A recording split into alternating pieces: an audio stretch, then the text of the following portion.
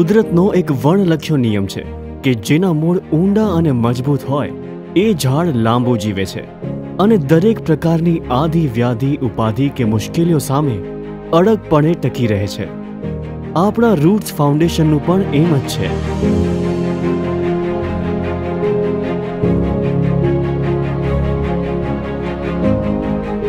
શ્રી તનુજ પટેલને માતા પિતાના અમૂલ્ય સંસ્કાર અને આદર્શોનો અનન્ય વારસો મળ્યો અને એના ફળ સ્વરૂપ પોતાના વતનમાં વસતા લોકોના સામાજિક, આર્થિક અને સાંસ્કારિક ઉત્કર્ષ અને ઉન્નતિ માટે કંઈક કરી છૂટવાની એક અદીમ ભાવના મનમાં ઉદ્ભવી અને બે હજાર સોળમાં આણંદ ખાતે રૂટ્સ ફાઉન્ડેશનનો પ્રાદુર્ભાવ થયો.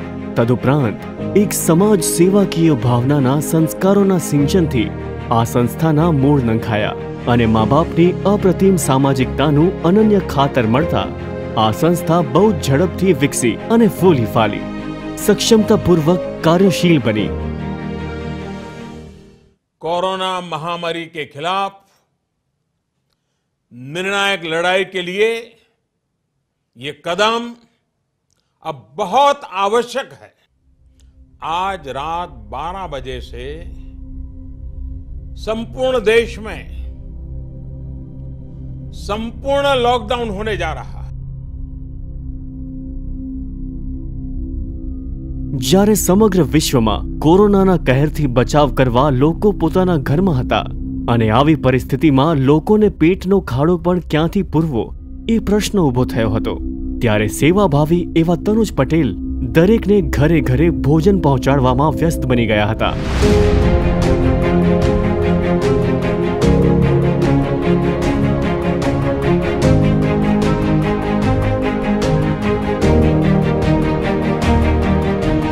અને તેમની આ સેવા જોત જોતામાં ત્રણ લાખ પંચોતેર હજાર લોકોના પેટની ભૂખાગ્નિની જ્વાળાને શાંત કરી હતી.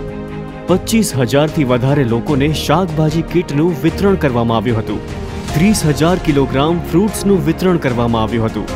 ચોખા, દાળ, લોટ, સોલ્ટ, ચા, મોરસ જેવી જરૂરી સામગ્રીની પચીસો કીટ તેમજ જે લોકો લોકડાઉન સમયે ફસાયેલા હતા અને તેના કારણે પોતાના ઘરે પરત ફરી શક્યા નહોતા. તેવા અગિયાર હજારથી વધારે યાત્રીઓને તેમના ગામ પરત જવાની વ્યવસ્થાની સાથે તેઓને ફૂડ પેકેટ તેમજ પાણી અને માસ્કની વ્યવસ્થા કરી. તદુપરાંત, સત્તર હજાર રીયુઝેબલ કોટનના હેન્ડમેડ માસ્કનું વિતરણ અને ફ્રન્ટલાઇન વર્કર્સને અભિનંદન પાઠવવા વીસ હજાર સો એમએલ સેનેટાઇઝરની બોટલ તેમજ વીસ હજાર પાણીની બોટલ્સની સાથે તેમને વિટામિન સી અને ઓઆરએસના પેકેટ આપી અપ્રિશિએટ કરવામાં આવ્યા.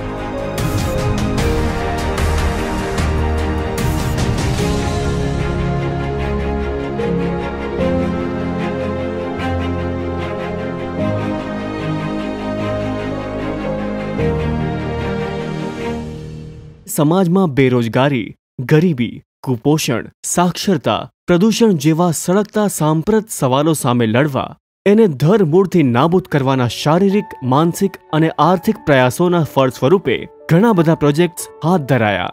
આર્થિક રીતે પછાત કુટુંબોના બાળકોમાં સ્કિલ ડેવલપમેન્ટ માટે ડાન્સ, સિંગિંગ, જનરલ નોલેજ, વક્તૃત્વ જેવા વિષયોના વર્ગો ચલાવવા, સક્ષમ લોકોના ઘરેથી કપડાં ભેગા કરીને જરૂરિયાતમંદ લોકોને આપવા રસ્તા ઉપરનું પ્લાસ્ટિકનું પ્રદૂષણ ઘટાડવા અને પ્લાસ્ટિકના ઉપયોગને ટાળવા માટે જાગૃતિ લાવવા અંગેના પગલાં.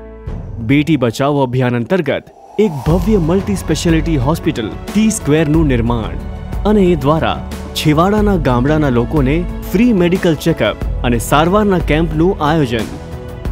હોસ્પિટલમાં જન્મેલ દરેક દીકરીના જન્મ સમયે એને સમગ્ર સ્ટાફ દ્વારા અનન્ય વધામણી અને સન્માનથી અભિવાદન.